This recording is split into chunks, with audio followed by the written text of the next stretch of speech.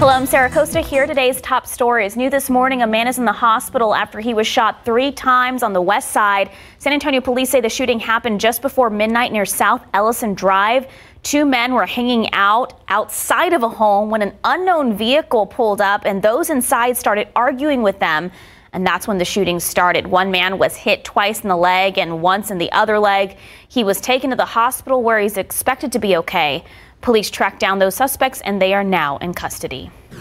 San Antonio police are investigating a shooting near I-35 at the Best Western Hotel that sent one woman to the hospital.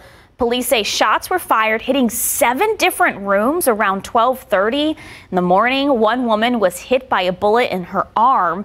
Investigators are still trying to determine where those shots actually came from and they didn't find any shell casings in the area. They suspect it may have come from across the road on the highway. That woman was taken to the hospital and is expected to be okay. New this morning, a woman is dead after a hit and run on the city's northeast side. San Antonio police say around 9:30 last night, an elderly woman was found lying on Randolph Boulevard by someone passing by. Police say the woman appeared to be hit by a vehicle. That driver of the vehicle took off. Police are still investigating. That's all for now. You can find our latest headlines on Facebook and our Twitter pages.